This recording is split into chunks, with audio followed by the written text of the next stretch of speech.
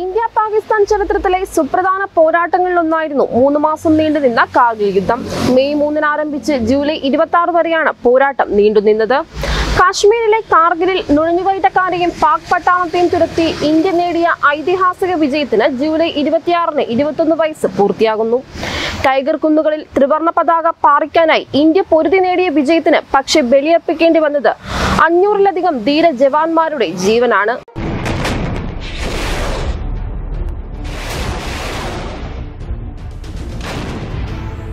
പൂജ്യത്തിന് താഴെ പത്ത് ഡിഗ്രി. എല്ലുറയുന്ന തണുപ്പിലും എല്ലുറപ്പോടെ പോരാടിയ ഇന്ത്യൻ സേന അറുപത് രാപകൽ നീണ്ട പോരാട്ടത്തിനൊടുവിൽ കാർഗിലിൽ വിജയക്കൊടി നാട്ടി. ആയിരത്തി തൊള്ളായിരത്തി തൊണ്ണൂറ്റി ഒൻപത് ജൂലൈ ഇരുപത്തിയാറിനാണ് ഇന്ത്യൻ സൈന്യം കാർഗിൽ മലനിരകൾ തിരിച്ചു പിടിച്ചത്.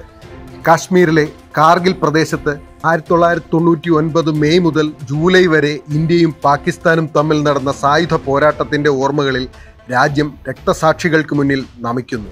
മൂന്ന് മാസം നീണ്ട കാർഗിൽ യുദ്ധത്തിൽ അഞ്ഞൂറ്റി ഇരുപത്തിയേഴ് ഇന്ത്യൻ സൈനികർ വീരമൃത്യു വരിച്ചു. ആയിരത്തി മുന്നൂറിലേറെ പേർക്ക് പരുക്കേറ്റു. നിരവധി സിവിലിയന്മാർക്കും ജീവൻ നഷ്ടമായി. ഒടുവിൽ ആയിരത്തി തൊള്ളായിരത്തി തൊണ്ണൂറ്റൊൻപത് ജൂലൈ ഇരുപത്തിയാറിന് നുഴഞ്ഞുകയറ്റക്കാരെ എല്ലാം നിയന്ത്രണ രേഖയ്ക്ക് അപ്പുറത്തേക്ക് തുരത്തി കാർഗിൽ മലനിരകൾ ഇന്ത്യൻ സേന തിരികെ പിടിച്ചു. കാശ്മീരിൽ ഇന്ത്യയും പാകിസ്ഥാനും തത്വത്തിൽ അംഗീകരിച്ചിരിക്കുന്ന അതിർത്തി രേഖയായ നിയന്ത്രണ രേഖ ലംഘിച്ച് ഇന്ത്യൻ പ്രദേശത്തേക്ക് പാകിസ്ഥാനി പട്ടാളവും കാശ്മീർ തീവ്രവാദികളും നുഴഞ്ഞു കയറിയതാണ് യുദ്ധത്തിലേക്ക് നീങ്ങിയത്.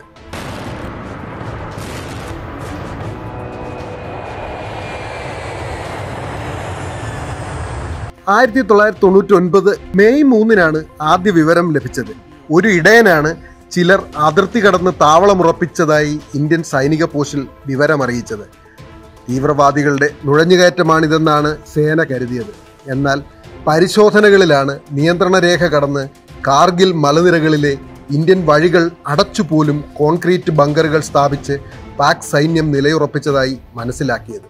ഓപ്പറേഷൻ വിജയ് എന്ന് പേരിട്ട ഐതിഹാസിക പോരാട്ടമാണ് പിന്നീട് നടന്നത്. നിയന്ത്രണ രേഖയിൽ നിന്നും പാകിസ്ഥാൻ സേനയെയും തീവ്രവാദികളെയും തുരത്തിയാണ് അത് അവസാനിച്ചത്.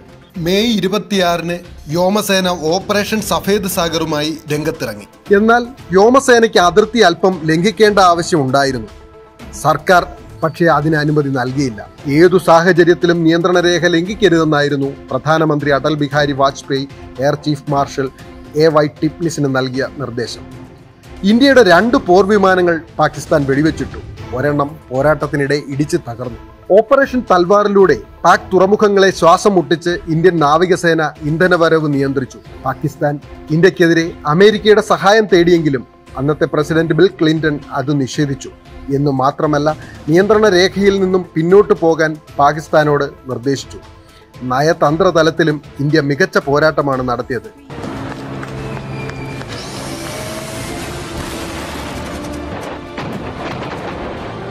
പാകിസ്ഥാൻ ആദ്യം യുദ്ധം കാശ്മീർ കലാപകാരികളുടെ സൃഷ്ടിയാണെന്ന് പറഞ്ഞിരുന്നെങ്കിലും ജീവഹാനിയും അപകടങ്ങളും സംഭവിച്ചവരുടെ പട്ടികയും പാകിസ്ഥാൻ പ്രധാനമന്ത്രിയുടെയും പട്ടാള മേധാവിയുടെയും പിന്നീടുള്ള പ്രസ്താവനകളും പാകിസ്ഥാന്റെ അർദ്ധ സൈനിക വിഭാഗങ്ങളുടെ യുദ്ധത്തിലുള്ള പങ്ക് വെളിവാക്കി. ഇന്ത്യൻ വായുസേനയുടെ പിൻബലത്തോടെ ഇന്ത്യൻ കരസേന നടത്തിയ ആക്രമണങ്ങളും അന്താരാഷ്ട്ര കേന്ദ്രങ്ങളുടെ സമ്മർദ്ദവും നിയന്ത്രണ രേഖയ്ക്ക് പിന്നിലേക്ക് പിന്മാറാൻ പാകിസ്ഥാനെ നിർബന്ധിതമാക്കി. സമുദ്രനിരപ്പിൽ നിന്ന് വളരെ ഉയർന്ന മേഖലയിലാണ് ഈ യുദ്ധം നടന്നത്. ഉയർന്ന മലനിരകൾ പോരാട്ടത്തിന്റെ ബുദ്ധിമുട്ട് സൃഷ്ടിച്ചിരുന്നു. ചെങ്കുത്തായ മലനിരകളിൽ രാത്രിയുടെ മറവിൽ കടന്നു കയറി പോരാട്ടം നടത്തിയാണ് ഇന്ത്യൻ സേന പാക് സേനയെ തുരത്തിയത്. ഒന്നുകിൽ ഇന്ത്യൻ പതാക പാറിക്കും അല്ലെങ്കിൽ അത് പുതച്ചു മടങ്ങി വരുമെന്ന് വീട്ടുകാരോട് അറിയിച്ചു പോയ ക്യാപ്റ്റൻ വിക്രം ബത്രയുടെ ഏ ദിൽ മാങ്കെ മോർ എന്ന അവസാന സന്ദേശം ഇന്നും സൈനികരെ രോമാഞ്ചമണിയിക്കുന്നു. ചെങ്കുത്തായ മലനിരകൾ ഐതിഹാസികമായ പോരാട്ടത്തിലൂടെ തിരിച്ചു പിടിച്ച് അടുത്ത പോരാട്ട സ്ഥലത്ത് സഹപ്രവർത്തകനെ രക്ഷിക്കുന്നതിനിടെ വീരചരമമടഞ്ഞ വിക്രം ബത്രയെ പരമവീരചക്രം നൽകിയാണ് രാജ്യം ആദരിച്ചത്. പോരാട്ടത്തിനിടെ നിഷ്ഠൂരന്മാരായ പാക് പട്ടാളത്തിന്റെ പിടിയിൽപ്പെട്ട ക്യാപ്റ്റൻ സൗരഭ് കാലിയയുടെയും അഞ്ച് സഹപ്രവർത്തകരുടെയും ജീവത്യാഗം നമ്മൾ മറക്കാൻ പാടില്ല. പരാജയം മണത്തു തുടങ്ങും മുമ്പ് മെയ് പതിനഞ്ചിന് പാക് പട്ടാളത്തിന്റെ പിടിയിലായ കാലിയെ ഏതാണ്ട് ഇരുപത് ദിവസത്തിലേറെ പീഡനങ്ങൾക്ക് വിധേയനാക്കി. കണ്ണ് ചൂഴ്ന്നെടുത്തും ചെവിയിൽ ചുട്ടുപഴുത്ത ഇരുമ്പ് കമ്പി കയറ്റിയും പല്ലുകൾ തട്ടി അടർത്തിയും ചുണ്ട് ചീന്തിയെടുത്തും മറ്റും നടത്തിയ പീഡനം യുദ്ധത്തടവുകാരോട് പാലിക്കേണ്ട ഒരു മര്യാദയും പാകിസ്ഥാന്റെ കാടൻ പട്ടാളം കാട്ടിയില്ലെന്നത് വിളിച്ചോതുന്നതായിരുന്നു. കേരളത്തിലും കാർഗിൽ നഷ്ടങ്ങളേറെയുണ്ടായി. വീരചക്രം നൽകി രാജ്യം ആദരിച്ച ക്യാപ്റ്റൻ ജെറി പ്രേംരാജ് കോഴിക്കോട്ടെ ക്യാപ്റ്റൻ വിക്രം അങ്ങനെ എത്രയോ ധീര ദേശാഭിമാനികൾ. ഉറിയും ബാലക്കോട്ടും അടക്കം തല താഴ്ത്താതെ പോരാട്ടവീര്യവുമായി ഇന്ത്യ മുന്നോട്ട് തന്നെ. ഈ ജീവത്യാഗത്തിന്റെ ഓർമ്മകൾ നമുക്ക് പാഠങ്ങളാണ്.